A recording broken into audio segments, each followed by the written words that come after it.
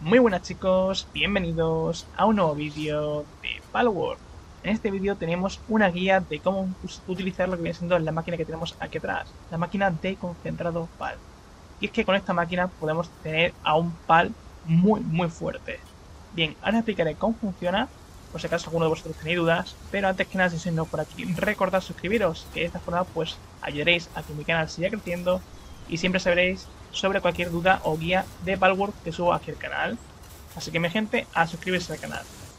Bien, pues esta máquina lo que hace es básicamente fusionar como 4 pals a un pal. Es decir, gracias a esta fusión hace que las estadísticas de un pal suban. Es algo complicado de utilizar cuando son los pals más exclusivos, por ejemplo, eh, con Anubis. Que su pal se consigue confianza, así que va a tener que criar muchísimos Anubis, por ejemplo, para tener una nube más fuerte o otro tipo de pal, por ejemplo, ¿vale? Básicamente aquí eh, yo tengo ya algunos capturados, de hecho desde el principio, de hacer rachas y tal. Y bueno, por ejemplo, tengo por aquí este, que este es el que yo he usado siempre. Y bueno, necesitamos, nos pide 4 pals para subirlo. Y tienen que ser los 4 pals de su misma especie. Es decir, necesitamos este, este, este y este. Ya con esto, las estadísticas de mi pal, que serían estas, subirán a esta.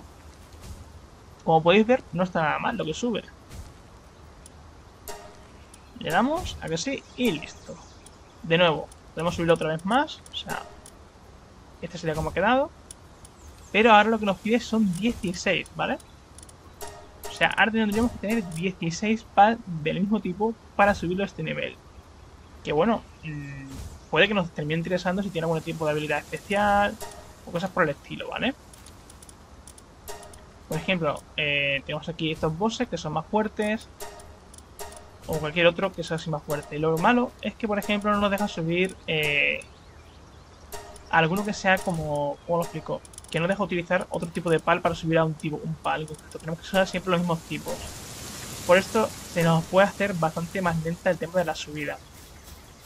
Pero es así como funciona, gente. No hay más misterio. Tenéis que conseguir, pues imaginaros, si tienes cuatro nubis, luego tenéis que tener 16 Anubis más y así, pues si lo queréis tener súper, súper fuerte, ¿vale?